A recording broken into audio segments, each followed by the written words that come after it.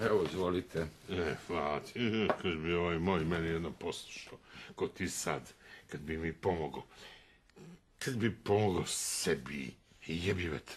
E, moj Ivane, ode sve u kurac. Kako ti je majka? Pa dobro je, hvala. Jeste kurac dobro sama s tobom. Kaže da si dovodio neke kurve tamo u stanu. To nije tačno. Zajebao se. Ma nisi ti tako psihički bolestan ko što ona priča. Gurio se ja njoj, nađete vi čoveku neku žensku da se on lepo istrese. Jebeš mi mater, vukla te po doktorima. Samo kurvu da ti je našla. Prošla bi i bolje, i jeftinije. I jebeš mi sve i ti bi ozdravio. Hoćeš? Ne!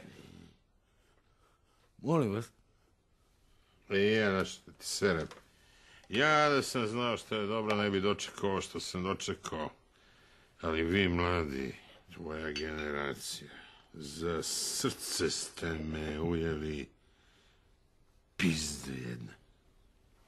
Pa dobro. Ja sam moram da idem. Ajde, ajde, samo ti piči, komšija. E, hvala ti što si mi sačuvao kuću. Ti si mi jedini prijatelj, ovo sve jebi vetri.